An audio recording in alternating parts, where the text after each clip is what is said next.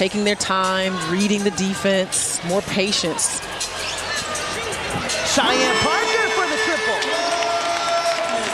It's a great utility player that uh, is going to be relied on heavily for the Dream if they plan to make a run. Gets the ball here. Could knock that one down. Cheyenne Parker tips it to herself and her activity tonight.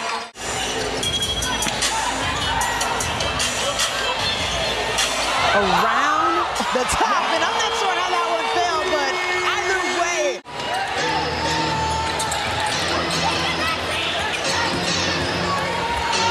Another deflection for Cheyenne Park. Little too deep in the paint.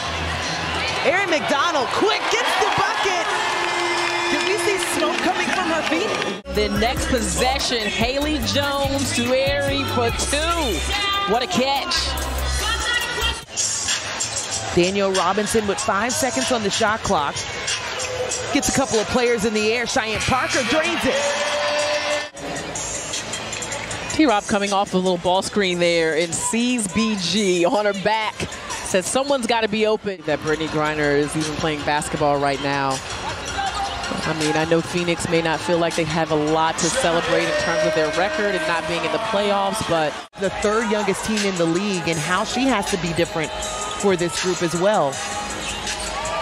Yeah, D-Rob has not only as Aari gets a beautiful cut to the basket. Wonderful job on your part. How lucky are we that we get to work with Karen?